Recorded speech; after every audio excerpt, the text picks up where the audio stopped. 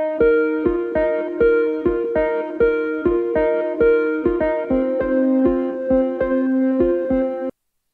all, welcome back. So in today's tutorial, we'll be looking on two functions which ServiceNow provides, which basically we should use in day-to-day life, but we don't know the importance of those functions.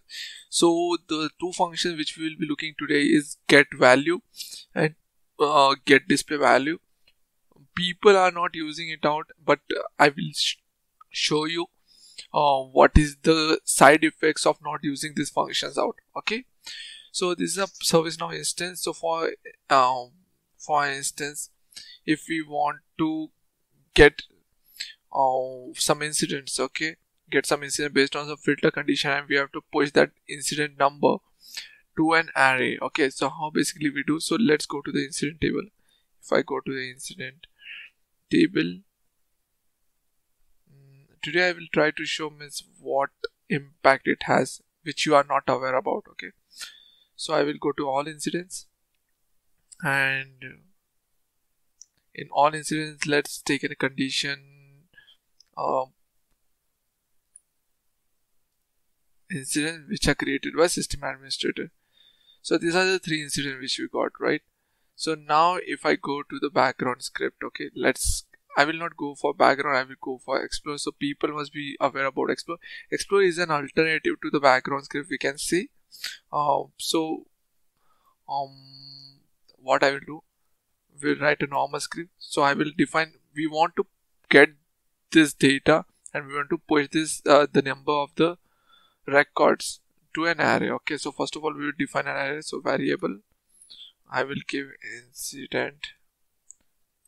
Sorry. Incident. Array equal to I will give a blank array right now. Okay?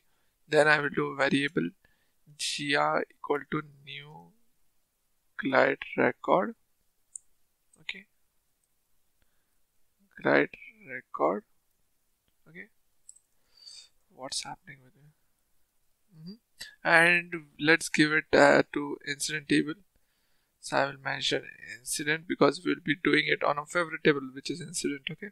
And then I add gr dot add. Uh, let's get go for encoded query okay?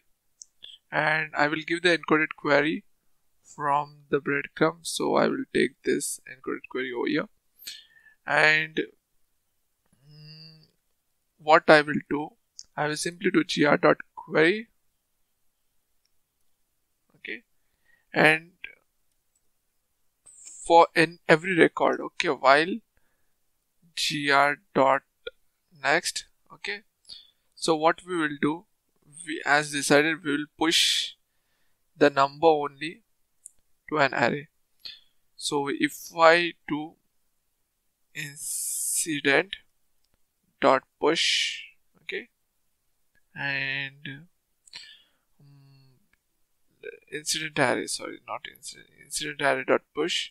And I what I will do I will take the number of incident okay? So that's it. So ideally it should work. So right now what we are doing we are just uh, querying incident table with the query or uh, encoded query.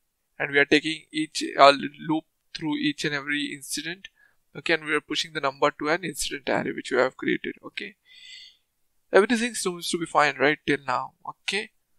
But if the expectation right now is like it should have an array with three incident number which are 1009 and 111 right? This is the expectation from our side. But if I print it out let's try to print gs.info okay? If I print incident array let's see what result it gets we gets so mm, run okay let me take it as to string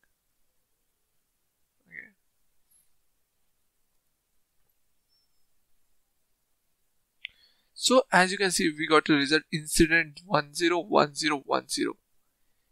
Is this right?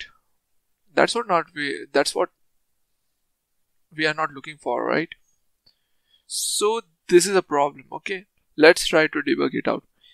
let's see if we are getting the same message means repetitive message in the while loop also okay so what I will do I will add gs.info okay and let's print a number over here so we'll take the same okay what we are pushing over here I'm just printing it out and let's see what input we are what output we are getting. If I run it out again we have to add toString okay? Why we want to add to string that also I will show you okay? So right now it's showing it as an object. We will verify whether it's an object or not. And uh, if I run so in the loop it's giving the proper value right? Incident 1009 111 110 then what exactly is happening? While pushing it to the array? Okay. So before that I will show you okay?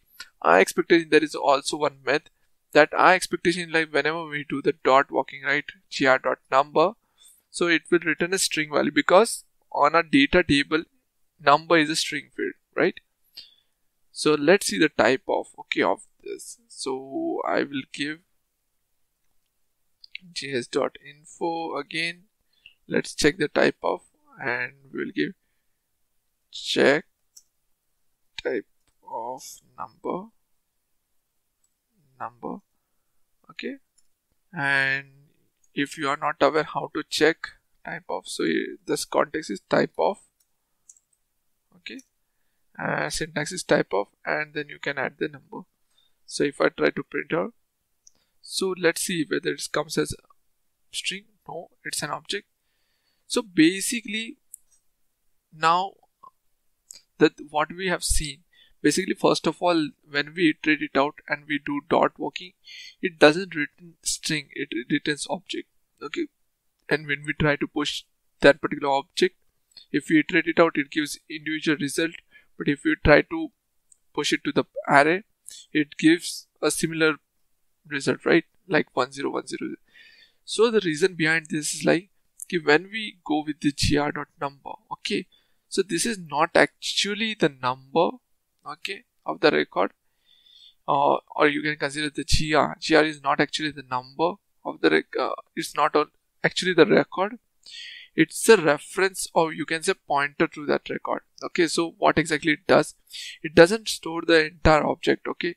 It stores the address of that object okay? As a result of which whenever we try to access out so it points to the same address right? Okay?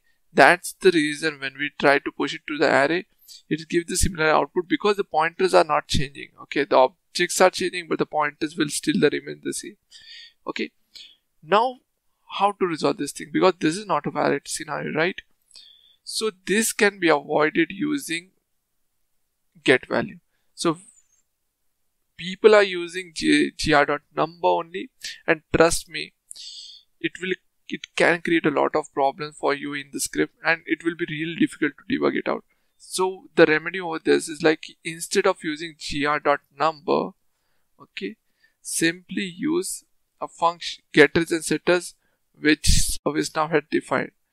So instead of gr dot number, you should write gr dot get value. This is syntax of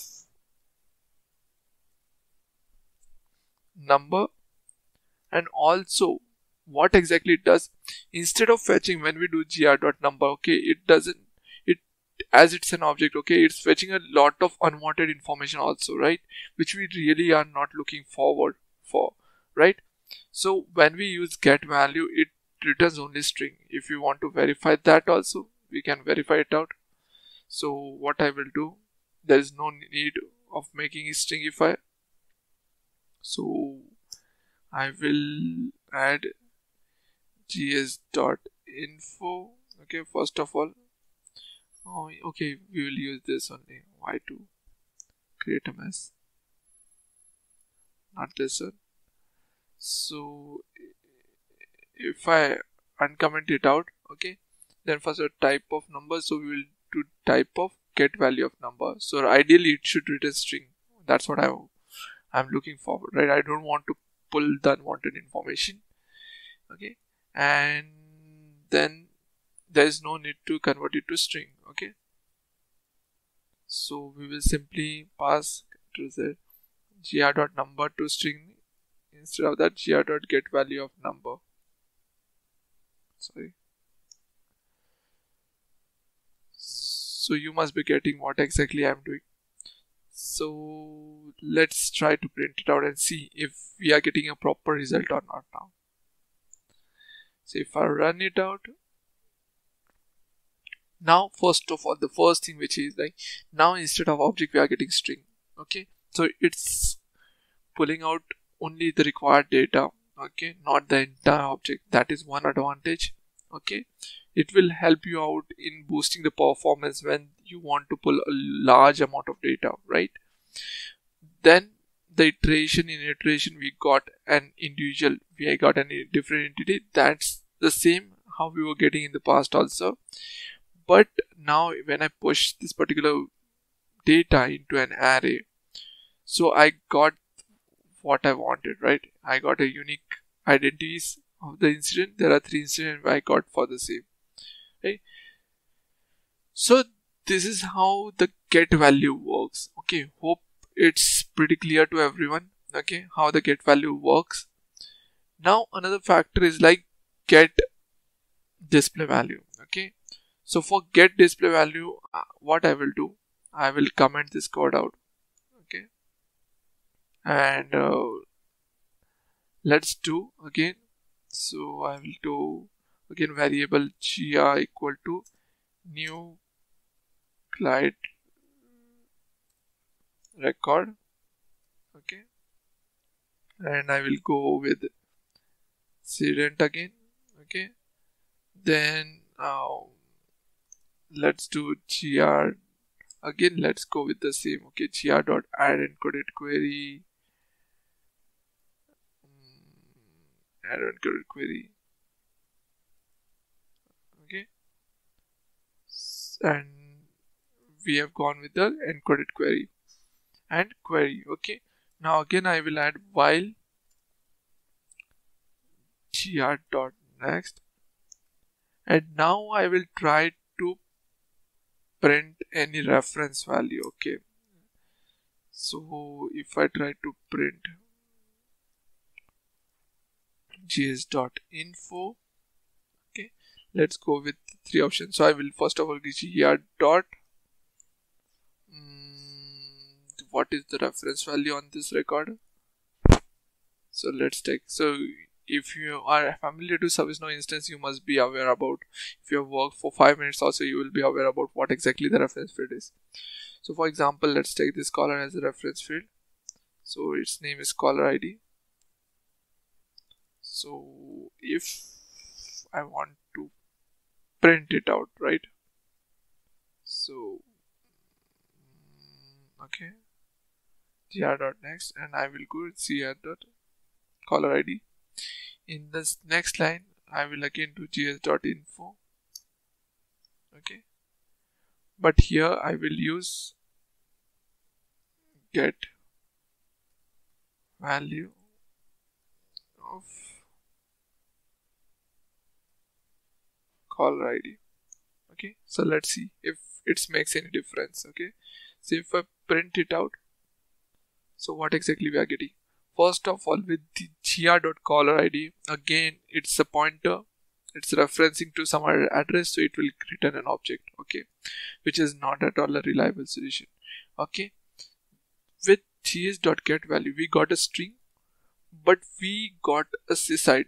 This sysid belongs to the sysid of the system administrator record, okay. But it's not clear with this sysid right what exactly we are looking for okay?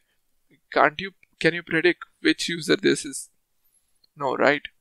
So for during this kind of situation a get display value came into existence. So what get display value does it shows the val the display value of that particular table okay rather than showing the sysid of that record okay? So if you go and how to define how to get what exactly what column is the display value right? So there are two ways. The first is like if i open the incident okay?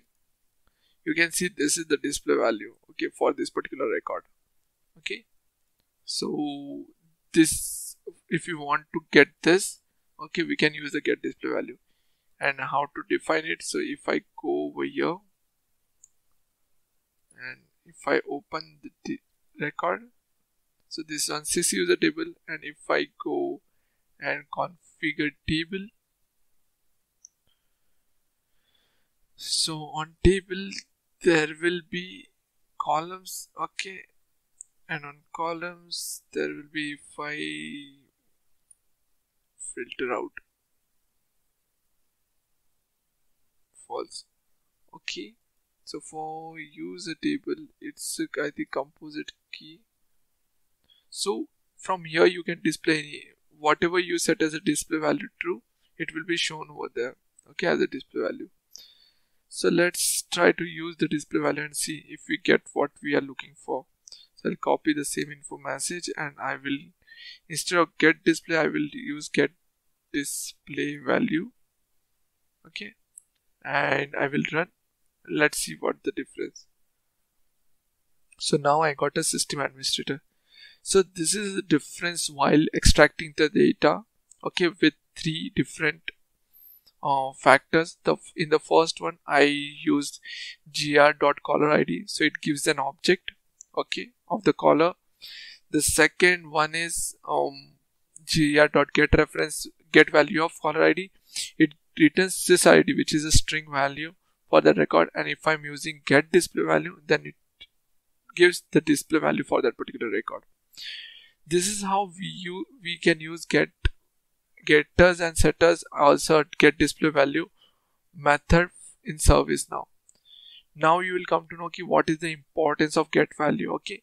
In the similar way like get value we have a method called set value. I will be creating a tutorial on the same in the future but always try to use get getters and setters if it's defined uh, by ServiceNow okay i hope this tutorial was helpful okay if you like this videos, like, follow, subscribe, and stay with me in this beautiful journey of ServiceNow learning. Okay. Till then, stay safe, stay happy, and have a nice day.